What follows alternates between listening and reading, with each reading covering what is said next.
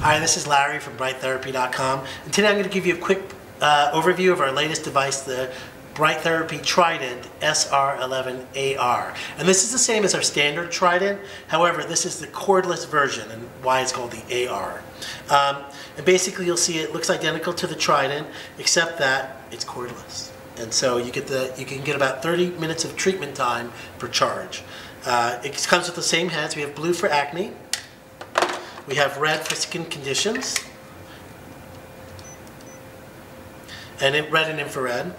And we have green for um, varicose veins and pigmentation.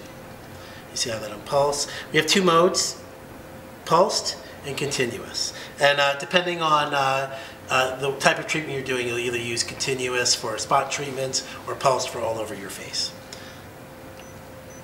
Uh, it comes with a charger. It has a US plug shape, um, but the charger is good from 100 to 240 volts, so you can use it worldwide.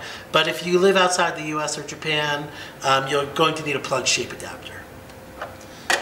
And uh, also included is a eye shield. It's not necessary to use, but some people find the light too bright and uncomfortable near their eyes, so you, we include an eye shield. And uh, if you want to buy this device or find out more information, please visit our website at brighttherapy.com.